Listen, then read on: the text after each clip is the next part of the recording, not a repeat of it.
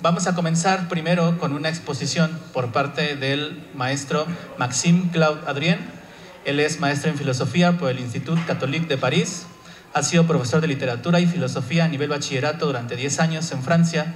Reside en México desde, desde 2021. Ya ha comenzado un doctorado en filosofía en la Universidad de Guanajuato en el año 2022 con el desarrollo de una tesis sobre Franz Rosenberg y Georges Bataille. Un aplauso, por favor.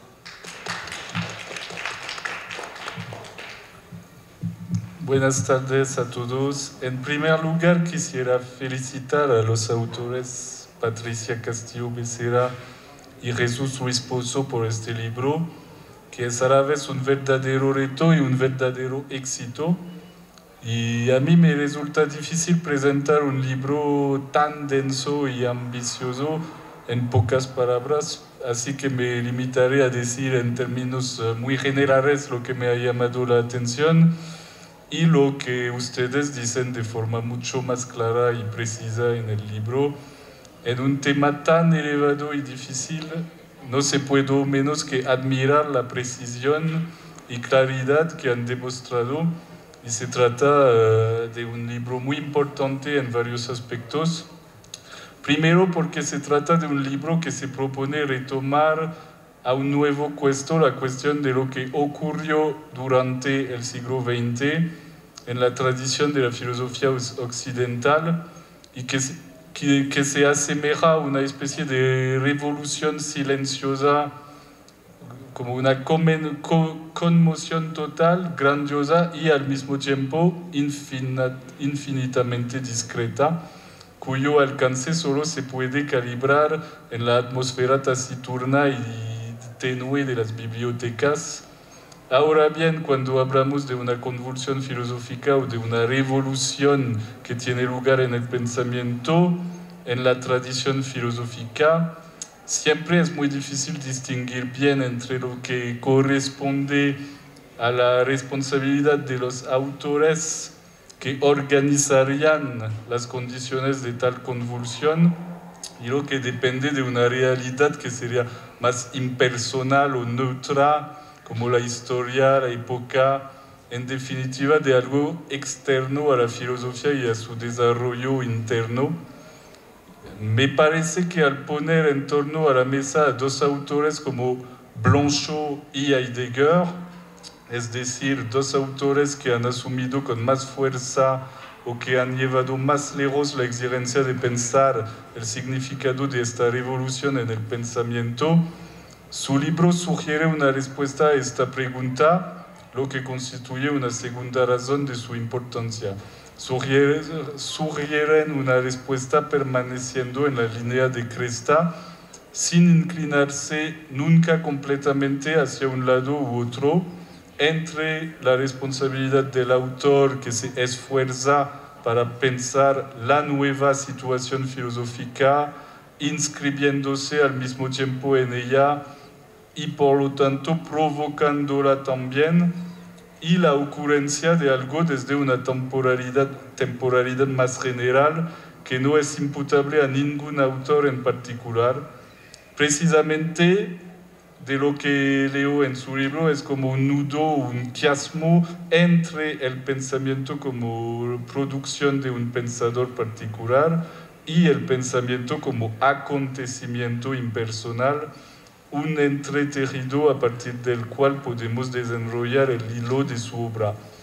Al plantear esta cuestión así, que es en cierto modo la cuestión central de Blanchot y Heidegger, es decir, la cuestión de la procedencia del pensamiento, de lo que da lugar a un pensar, ya estamos en la cuestión central de su libro, donde tenemos que considerar que la convulsión del pensamiento del siglo XX ha consistido en dejar de considerar la filosofía como un discurso que sería ligado a la necesidad de una lógica trascendental o un discurso que estaría ligado a un principio, una realidad independiente de él y que el discurso filosófico se dedicaría a conceptualizar y tomar en vista de manera global.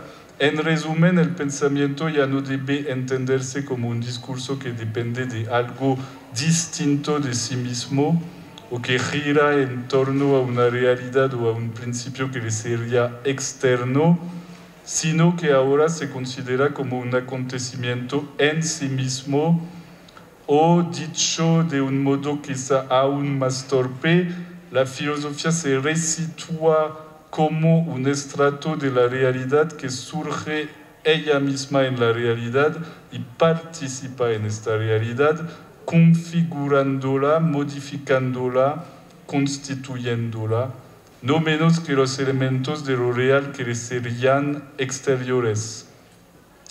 Entonces es una acontecimentalidad del mismo, del mismo modo que un acontecimiento tal como lo entendemos habitualmente, como una guerra que al, este, al estallar altera profundamente la realidad de una vida cotidiana relativamente pacífica, o como el desarrollo de la tecnología que al cruzar un nuevo umbral modifica radicalmente nuestras costumbres y nuestros esquemas de pensamiento, o como una revelación religiosa que, descendiendo del cielo, instaura una nueva er-, era en la historia de la humanidad.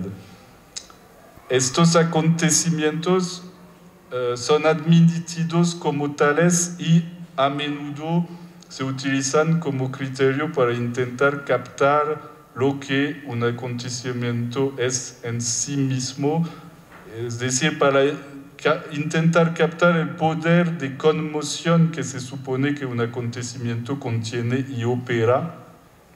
En su libro el objetivo es pensar en qué se convierte la filosofía cuando se concibe a su, a su vez en este plano de lo acontecimental y cuál es la naturaleza y el alcance de un acontecimiento de este tipo. Aquí es donde nos situamos, el título de su libro indica los dos reversos de esta misma cuestión, el acontecimiento como nuevo dato de la filosofía contemporánea y su reverso, el límite de lo pensable. A través de las obras de Blanchot y de Heidegger se trata de ver cómo la filosofía está saliendo de la antigua y venerable tradición del discurso vinculado a la compartición de la interioridad especulativa llevada a su punto de culminación por, por Hegel y de la exterioridad de una realidad que a priori escaparía al pensamiento, es decir, la tradición de la filosofía como discurso encargado de conformar e integrar en sí misma una realidad exterior, un discurso destinado a hacerse cargo de la realidad exterior como estructura inteligible. Al darse como acontecimiento y al asumir esta estructura del acontecimiento como su asunto primordial, la filosofía está llamada a dejar a sí mismo este principio de conformación o de ajuste conceptual a lo real, en cierto sentido es pues ella misma una exterioridad, surge como realidad eventual en una realidad que antes de ser considerada como inteligible, se constituye a partir de esta posibilidad de surgimiento eventual. Es en este sentido que Heidegger, yendo en contra de la tradición que va de Aristóteles a Hegel, situó lo posible más allá de lo actual. La filosofía, y esto no es nada nuevo, se toma a sí misma como objeto de su propio discurso, pero desde el momento en que ya no se piensa a sí misma meramente como discurso sobre lo real o sobre la verdad, sino como un acontecimiento en sí, la frontera entre el discurso pensante y la realidad pensable queda sino abolida, al menos seriamente complicada, y lo impensable se derrama por todos lados, o más exactamente para utilizar su bello título, somos conducidos al límite de lo pensable, lo que significa también al mismo tiempo al límite de lo inteligible, al límite del discurso. Puesto que el acontecimiento como fenómeno es por definición imprevisible y por lo tanto impredecible y por lo tanto imposible de poner en la forma del discurso filosófico tradicional que culmina en Hegel y que es un discurso de dominio, un discurso que trata de captar conceptualmente lo que es a falta de captar lo que sucede y perturba o deshace el orden de las cosas, un orden de la realidad sobre el que se cierne la posibilidad del acontecimiento y que nos obliga cuanto esta posibilidad se pone en primer plano a repensar todo el asunto de la filosofía de arriba a abajo. Así que inevitablemente tenemos que pasar por la cuestión del discurso, su forma, sus presupuestos y por lo tanto, aún más fundamentalmente, es la cuestión del lenguaje que se convierte en sí misma en una cuestión central de una centralidad que su libro nos ayuda a aprender, a retomar la filosofía de arriba a abajo en el horizonte del límite de lo pensable, tenemos que deshacernos del lenguaje racionalista clásico, este lenguaje de dominio que la acontecimentalidad hace ya impracticable y al mismo tiempo tenemos que reelaborar el lenguaje a la luz de la nueva situación, aunque ello signifique hacerle violencia. Este es otro de los grandes intereses de su libro. El orden exigido por este cuestionamiento no es un orden cronológico. Así Blanchot precede a Heidegger. Esto puede parecer sorprendente al principio. Blanchot hereda de Heidegger, y estamos acostumbrados a exponer al maestro antes de llegar al discípulo. Pero pronto queda claro por qué Blanchot precede a Heidegger. Pero pronto queda claro por qué Blanchot precede a Heidegger precisamente en lo que respecta a esta cuestión de repensar el lenguaje del pensamiento cuando el discurso filosófico se encuentra al menos temporalmente fuera de juego. Y es en gran parte a Blanchot a quien se dirigen y con razón, ya que Blanchot es sin duda el autor que ha sondeado más radicalmente la cuestión del lenguaje y de la relación entre lenguaje y pensamiento. Es él quien interroga el devenir del lenguaje en el juego de un pensamiento que ya no se concibe ni en términos de un sistema vinculado en principio o en trascendencia, ni en términos de la relación entre un pensamiento interior y una realidad exterior, el lenguaje mismo se convierte en un acontecimiento y a este lenguaje acontecimiento que Blanchot da el nombre de literatura. Y voy a saltar un poco porque si no creo que... Uh, hablo rápido de la segunda parte también del libro, que es más condensada sobre Heidegger. Uh, esta parte es también una conclusión, más que un comentario sobre Heidegger, se trata de un auténtico intento, un primer intento con éxito de pensar una filosofía acontecimiento tal como Heidegger y Blanchot después de él elaboran las premisas y las condiciones de posibilidad, el ser ya no es el ser de la tradición metafísica, el aparecer ya no se entiende en los términos a veces escolásticos de la fenomenología husserliana, lo real se piensa ahora en términos de retirada y presencia, de nuevo en relación con una experiencia que no es la de lo, ordinario o del orden, que cierta filosofía clásica quería inmutable y el método se convierte en, una, en un contramétodo. Esto nos lleva a un último y segundo y audaz intento de definir el acontecimiento, o más exactamente el Ereignis, es decir, la figura del acontecimiento elaborada por Heidegger en su última filosofía. Eh, estamos pues ante un gran libro me atrevería a decir que es un libro indispensable e ineludible para cualquier lector que desee comprender las cuestiones que están en juego en la filosofía contemporánea en el sentido continental del término. Es un libro que constituye en sí mismo un acontecimiento en este sentido y me gustaría dar las gracias a los dos autores por haber llevado a buen puerto un proyecto tan ambicioso.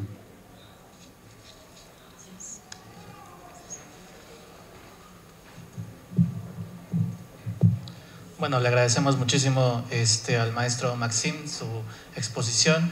Eh, vamos a darle ahora la palabra a la doctora Patricia Castillo Becerra. Ah, ok. Bueno, perdón, corrijo. Vamos a darle primero la palabra al doctor Jesús Ruiz Pozo.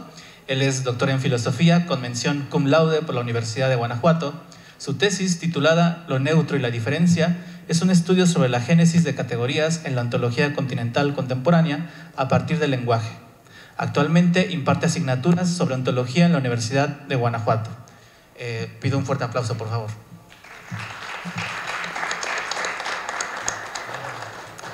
Eh, bueno, buenas tardes. Eh, en primer lugar, bueno, estoy fascinado por el trocito de presentación que, que, pudimos escuchar de Maxim.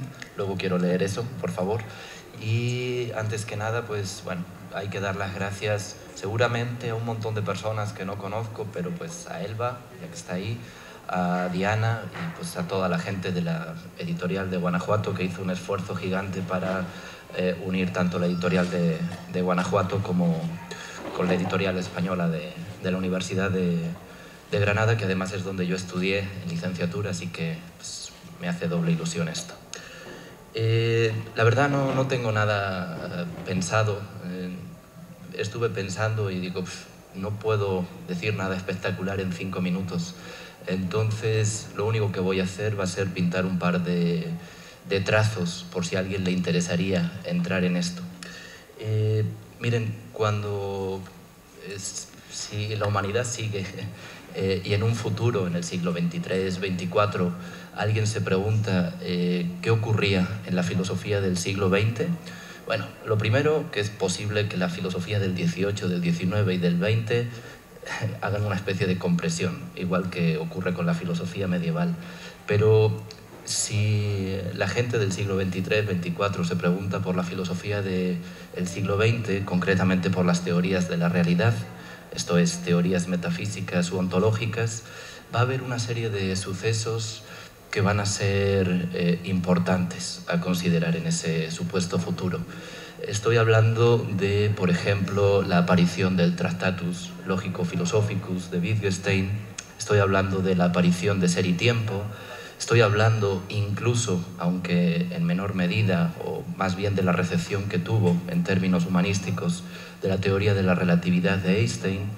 Eh, todo esto ocurrió en los años 20, entre, en la década de 1920. Eh, también podríamos incluir ahí la teoría de la incompletud en matemáticas de Hilbert y básicamente esto que está ocurriendo, eh, pivoteando al principio del siglo XX, se convirtió en un gesto de época para toda la filosofía del siglo XX. Si en un futuro hablan de la filosofía del siglo XX, van a pasar por todos estos hechos que yo les estoy comentando aquí y se darán cuenta que eh, la filosofía del siglo XX es una filosofía que asume con plenitud la imposibilidad de establecer un sistema total de la realidad. En pocas palabras, el siglo XX es el siglo donde nos damos cuenta de que no hay unas reglas primeras para entender el sentido de la vida, de la realidad, que se expliquen a sí mismas.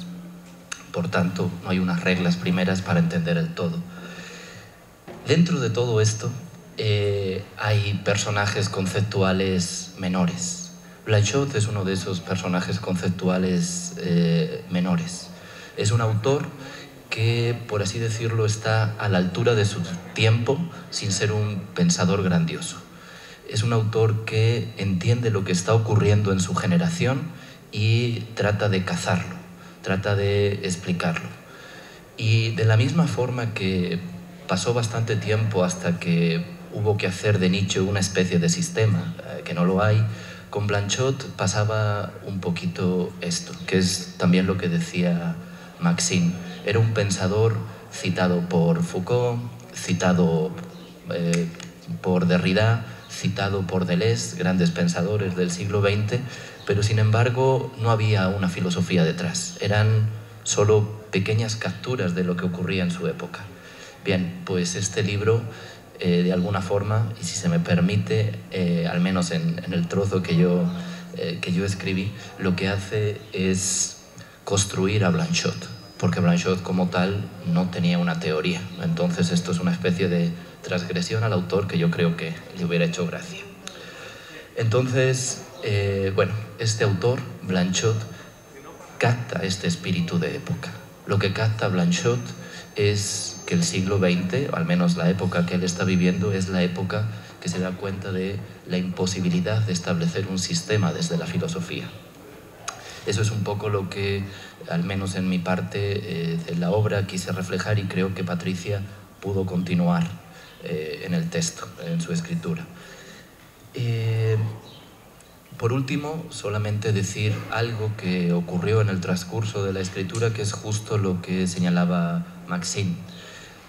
Se estaba, estábamos construyendo una teoría, una teoría ficticia. En Blanchot como tal no hay una teoría uniforme.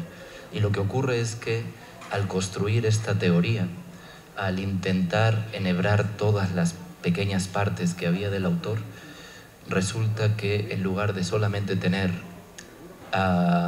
por así decirlo, la perspectiva de un autor, apareció una especie de fenómeno inherente a todo pensamiento, una experiencia propia a todo pensar, no simplemente de este pensador, sino de lo que ocurre al hacer filosofía.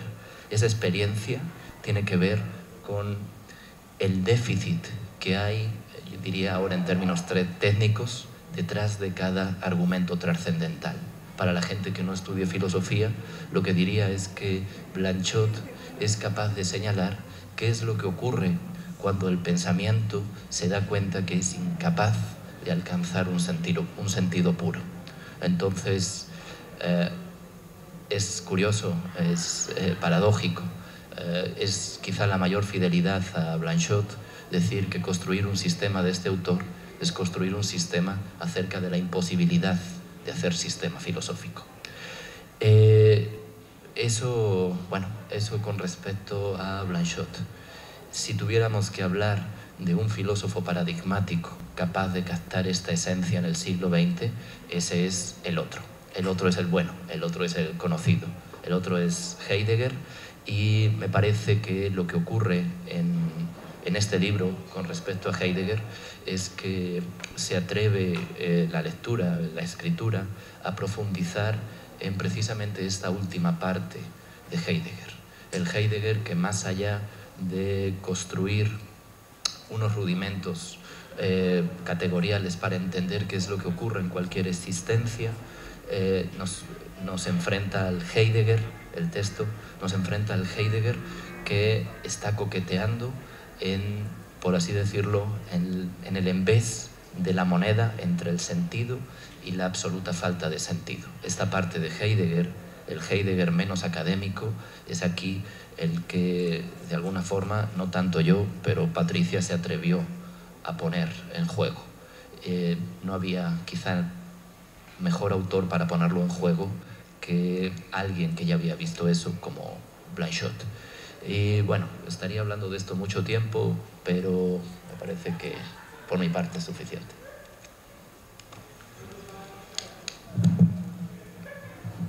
Le agradecemos muchísimo al doctor Jesús su participación. Eh, a continuación vamos a darle la palabra a la doctora Patricia Castillo Becerra. Ella es doctora en filosofía por la Universidad de Sevilla. Actualmente es profesora investigadora en el Departamento de Filosofía de la Universidad de Guanajuato, en temas relacionados con la ontología contemporánea. Entre sus publicaciones destacan De la ontología a la autonomía, en el libro De las potencias del continuo, de Les, Ontología Práctica 3, y el artículo especializado De la ontología relacional a la ontología plana, el principio de la onticología. Eh, les pido la reciban con un fuerte aplauso, por favor.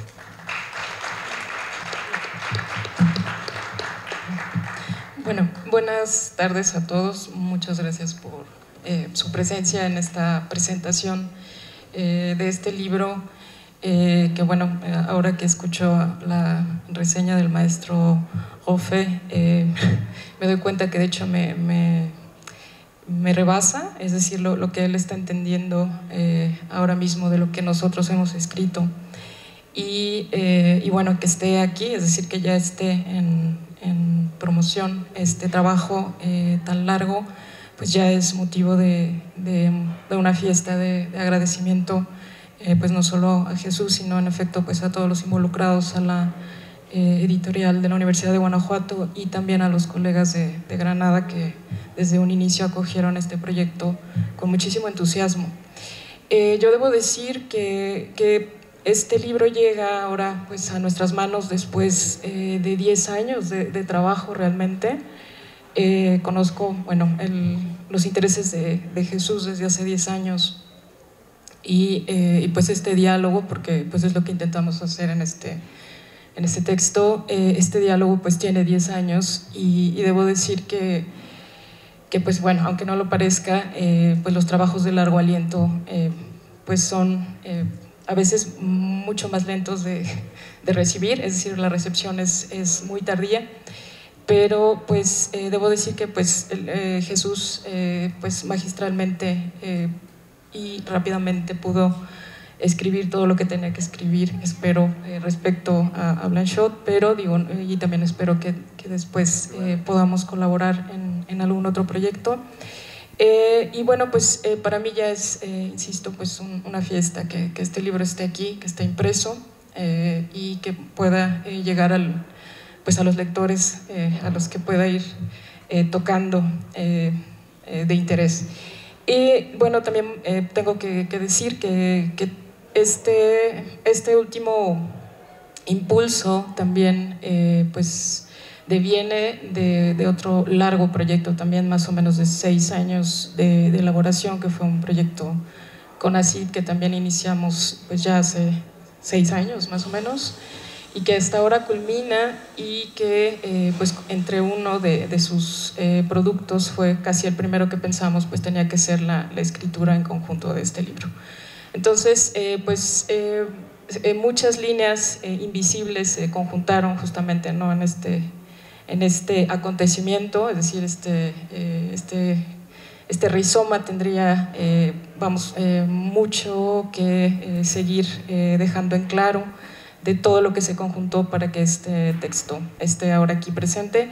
Y pues yo solamente tengo palabras de, de agradecimiento y ojalá que pues tenga un buen decurso, sobre todo pues para los interesados en este tema y también para los que no están interesados.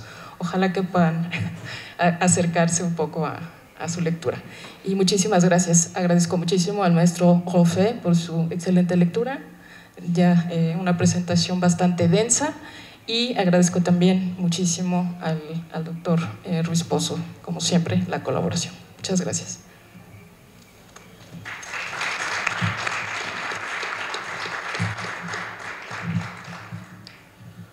Bueno, este, tenemos todavía eh, tiempo bastante para preguntas. Eh, ¿Alguno quisiera este, dialogar con los autores? ¿O si ustedes quisieran?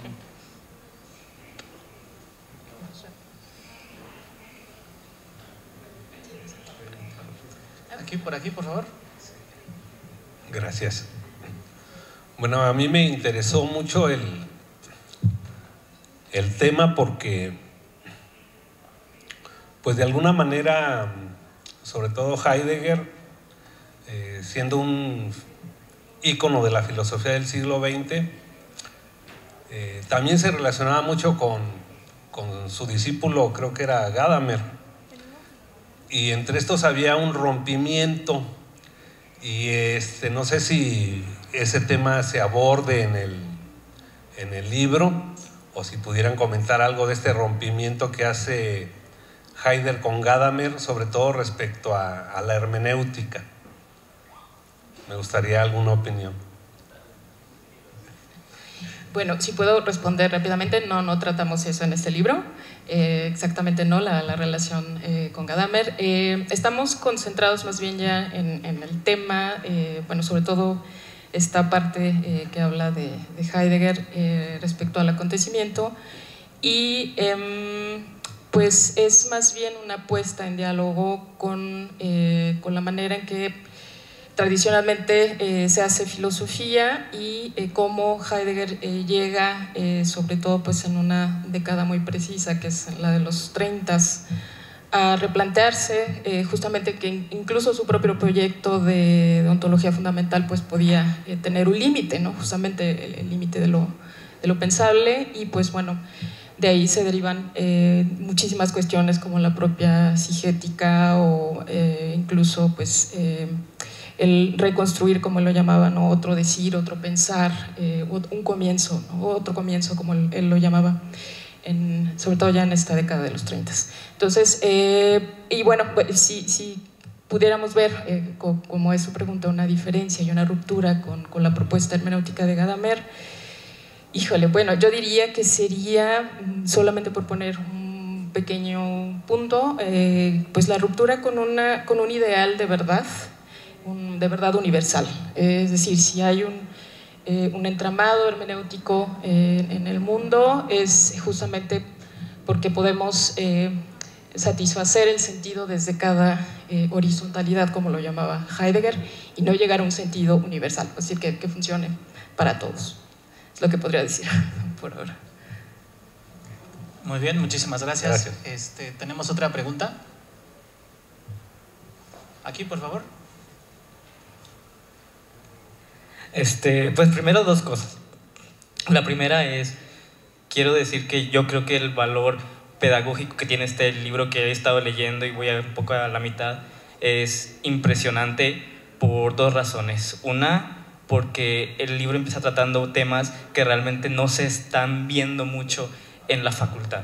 Por ejemplo, un nombre, como dice Jesús Blanchot, es un autor menor, pero Heidegger es todo lo contrario por lo tanto, Heidegger es un autor que se menciona bastante.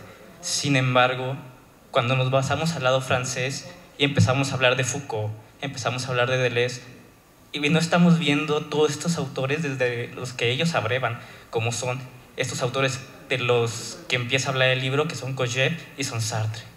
Entonces, yo creo que para un estudiante de filosofía, em, eh, leer este libro, sobre todo un estudiante de filosofía de aquí, de esta facultad, en donde no estamos viendo mucho estos autores, vale bastante porque nos está dando un panorama que no estamos viendo del todo a profundidad y que nos ayuda a entender a estos autores que ya no son este, autores menores, sino autores mayores, que sin embargo vienen de esta tradición.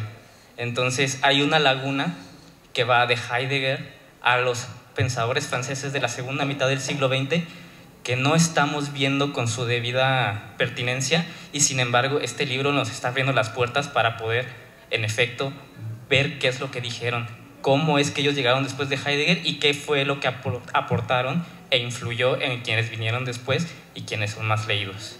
La segunda razón por la que creo que es muy importante pedagógicamente es porque este ejercicio que, que Jesús llama una construcción de, sistemática de, de un pensamiento que no tiene sistema como es el de Blanchot, yo creo que es un gran ejemplo de cómo hacer un trabajo académico, porque no está hablando, no está hablando él solo, sino en, constantemente está yendo de la mano con las citas de, del autor. Todo lo que está diciendo se está basando en las citas del autor, aunque el autor no lo diga como tal. Y lo dice el, este, autor de este libro, Jesús. Este lo dice, a, Blanchot se le ha acusado de sin sentido como también se le ha acusado a Heidegger. Sin embargo, lo que, está, lo que nos está enseñando a hacer el libro es cómo a estos textos tan llenos de metáfora, tan, tan llenos de un estilo tan poético, que se les acusa de sinsentido y se les dice que carecen de rigor, cómo realmente tienen un rigor argumental muy, muy fuerte, aunque quizás implícito, aunque quizás oculto. Y entonces nosotros como lectores de filosofía lo que tenemos que hacer es saber desenterrar ese rigor argumental y poder ponerlo, hacerlo explícito. Entonces yo creo que el texto es muy bueno como un ejemplo de, de cómo se hace eso. Y esas, esas eran esas dos cosas que no son preguntas, pero ahora sí una pregunta. No he terminado el texto, entonces no sé si al final se diga algo al respecto. Sin embargo, yo lo que querría preguntar es una pregunta muy abierta y muy quizás de, mala fe, pero ¿y entonces ahora qué sigue?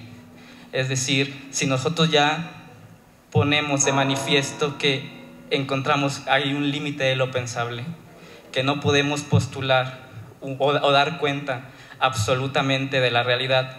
Entonces, lo que sigue para la filosofía es dar vueltas en torno a este, a este límite para siempre, o es que hay algo que se puede hacer una vez que ya nos damos cuenta de este límite, como lo ha dicho, por ejemplo, este autor tan controversial, ¿no? Graham Harman, que el subtítulo de su libro es Una metafísica después de Heidegger, porque es, es imposible, pero si es imposible, entonces, ¿qué sigue para, para la filosofía? Repito, ¿dar vueltas en torno a este límite o, o qué creerían ustedes que hay que hacer una vez que se reconoce este límite de lo pensable?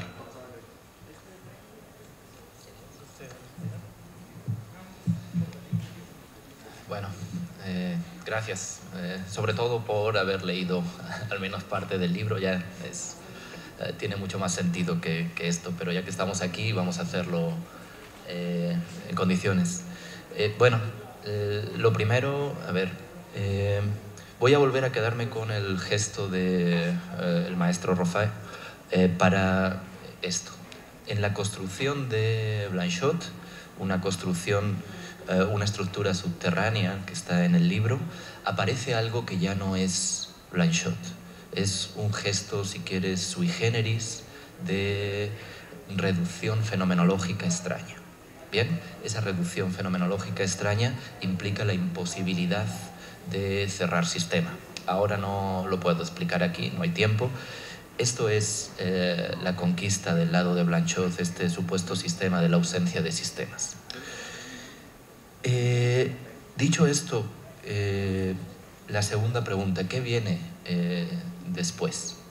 Lo que viene después es, creo yo, al menos esta cosa está escrita desde hace bastante tiempo. No se trata de abandonar este trabajo, se trata de, al menos en mi caso, académicamente, hacer otras cosas. ¿A qué me refiero? Lo que si la diferencia tiene un método, la diferencia entre el pensamiento y la realidad, lo que debe hacer el método de la diferencia es explotar al máximo las posibilidades del pensamiento. Y una vez que se explotan al máximo las posibilidades del pensamiento, ver cuál es la visión de la realidad que arroja totalmente eh, despegado de la realidad. Entonces solo queda eh, estirar por el otro sitio en lugar de estirar el pensamiento en su máxima potencia girando sobre sí mismo, es el momento de girar hacia la naturaleza y ver qué es todo lo que puede la naturaleza sin tener en cuenta la relación con el pensamiento. Si la diferencia tiene un método, el método de la diferencia, y lo digo ahora porque veo que en este lado de acá hay muchos estudiantes, si la diferencia tiene un método, tendrá que asumir un pragmatismo de base en el lado del lenguaje y un naturalismo, un naturalismo profundo y dinámico del lado de la naturaleza. El problema surge cuando pensamos que la filosofía lo que tiene que hacer es establecer un puente de plata claro y distinto entre pensamiento y realidad, cuando quizá lo que hay que hacer es precisamente separarlos para ver eh, eh, las potencias de estos dos ámbitos totalmente separados. Si esto es así, en este libro lo que hay es qué es lo que ocurre al estirar el pensamiento, desalejarlo de la, alejarlo de la realidad y ver qué es lo que ocurre pivoteando sobre sí mismo. Eso es lo que ocurre acá. Y de hecho creo que también ocurre en Heidegger. De hecho creo que ese es el ejercicio más profundo, eh, fenomenológico, eh, si podemos llamar fenomenológico, ah, en Heidegger. Hacer que el pensamiento gire sobre sí mismo. Eh, y por último, acerca de, bueno, de la facultad y todo esto, no se puede abarcar todo, no se puede abarcar todo. Entonces, lo mejor que se puede decir de un trabajo es que pasado el tiempo siga sirviendo. Y honestamente, yo creo que en este caso ha pasado ya bastante tiempo, yo creo que esto está finalizado alrededor de 2021-22.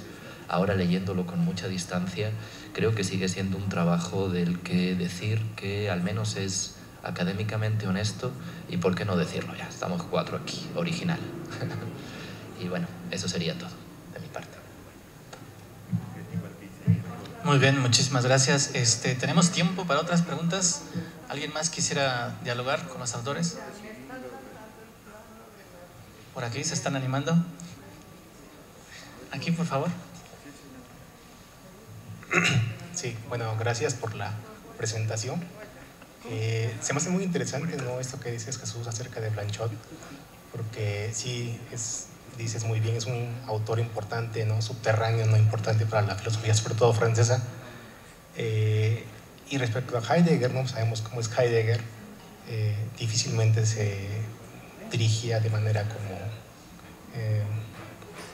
con elogio ¿no? a sus contemporáneos, ¿no? más bien era lo contrario. hay una cita ¿no? de los 20 en donde menciona que ya no va como que a dialogar con sus contemporáneos, sino más bien con los grandes pensadores, ¿no? ya los grandes sistemas del pasado.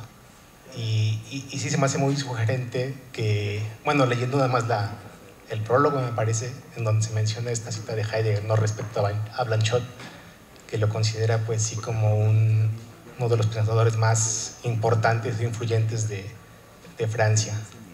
Eh, y ya se mencionó un poco, ¿no? Cuáles son como que las líneas que, que vertebran este libro, pero eh, eh, otra vez, no sé, como para, para reafirmarme, cuáles serían como que las tesis no centrales que, que comparten, porque yo creo que esa es como la intención del libro, ¿no? De relacionar Blanchot con Heidegger. ¿Cuáles serían como que estas tesis que, que comparten tanto Blanchot con Heidegger?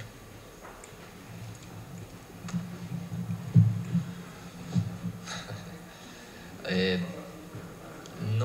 no, es exactamente eh, lo que comparten, es solo una pequeña parte en el momento central del libro. Eh, eh, voy discurriendo para que el pensamiento vaya funcionando. En primer lugar, para entender, voy a ser técnico para ser rápido.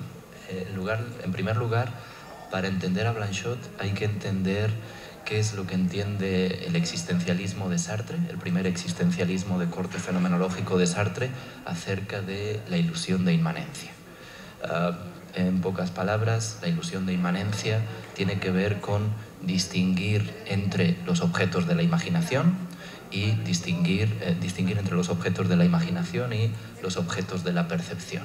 No es lo mismo ver a un ser querido que imaginar a un ser querido. Bien, no es lo mismo ver una caricatura con los ojos animada que estar imaginando un centauro. Esta es la primera cosa necesaria que hay que tener en cuenta para entender a Blanchot, esta distinción entre imaginación y percepción. En segundo lugar, y muy importante, quizá la mayor transgresión, es que hay que entender que en estos pensadores es fundamental la extraña lectura de Hegel que tiene Koyev. Bien, Koyev lo que trata de hacer alrededor de los años 30 es explicar cuál es la génesis de la negatividad en Hegel, eh, de una forma extrañísima. Es curioso que cuando, eh, y aquí es el primer punto de unión, cuando vamos a los escritos de Koyev, eh, alrededor de los años 30, dice, hay un jovencito en Alemania que está haciendo algo similar a esto que yo estoy haciendo. Se llama Martin Heidegger. Entonces, este sería el primer gran eh, punto de unión. Hay algo que Koyev está viendo en la negatividad hegeliana que de alguna forma está siendo asociado a Heidegger. Ese sería el primer gran punto. Y la tercera noción, eh, que más que de igualdad es de comparación, tiene que ver con una tergiversación, si quieres, de la fenomenología husserliana. Si conciencia es conciencia de algo, y lo que tenemos con conciencia, conciencia de algo, es que extraemos el sentido de cualquier ámbito fenoménico. Heidegger eh, establece una condición límite de este sistema. Esa condición límite sería algo así como decir, ok, yo me voy a centrar en un fenómeno en particular, y ese un fenómeno de sentido particular. Y ese fenómeno de sentido particular es aquel fenómeno de sentido donde se manifiesta la ausencia de todo sentido eso será la nada. El hallazgo fenomenológico, si se permite decir a esto fenomenológico, de Heidegger acerca de la nada es literalmente lo que para Blanchot causa una conmoción profunda. Yo incluso me atrevería a decir que esto es el último gesto de aliento del idealismo. Bien, idealismo entendido en el sentido de encontrar una potenciación racional inherente al pensamiento para explicar de forma genérica la realidad. Entonces, aquí ya me estoy tirando un triple, estoy siendo yo solito hablando. ¿eh? Patricia seguramente quiere asesinarme en este momento, no sé.